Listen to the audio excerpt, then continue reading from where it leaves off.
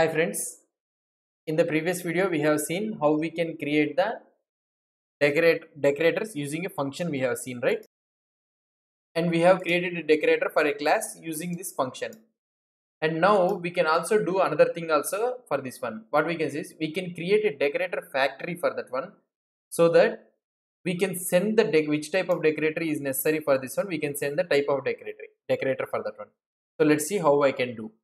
So let's see we can do this one in a in a different behavior such a way that for example I have I will write function logger okay? So I will do like this. And instead of returning uh, returning this one what I will try to do is I will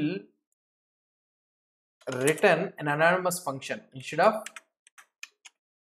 I will return an anonymous function for this one okay? I will return an anonymous function to this one so and I will do this. So here what I will try to do is I will try to call this function not the another not the constructor function. I will call this function. So here if I call this function now what what this one will return? It will return the same thing the previous thing only. How we have how I have written that one it will return the same thing only. so I am returning an anonymous function for this one so that I can I can do like this.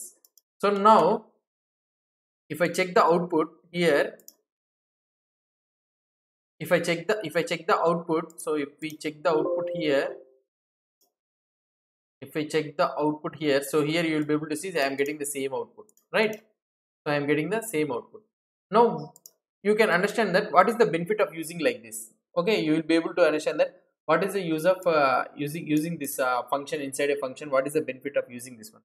So I can tell you that this one will be useful that you can send your own parameter something like log string of type strings okay? I can send the parameter. Here I will be sending the parameter logging for the class person okay? I can I can send the own string for this one so that I can use this string and I can print the string here. So I can send the custom defined data to this function so that this function we in in the in the decorator function we can use the data what I what I have sent from the decorator I can use that one in the decorator directly.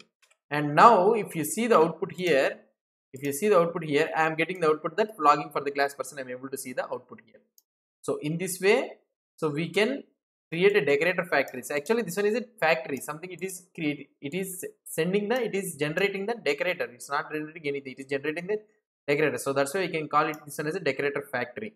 So this decorator factory is responsible for sending the decorator and also from here instead of logger instead of calling just uh, like this we are calling this function so that we are sending our custom defined data from this. So so we use for any class or anything for any class this decorator we can send our custom data for that one. Okay in this way we can also use the we can also create the decorators using the decorator factories. This one is a nothing but what we can say is creating a decorator with the decorator factories.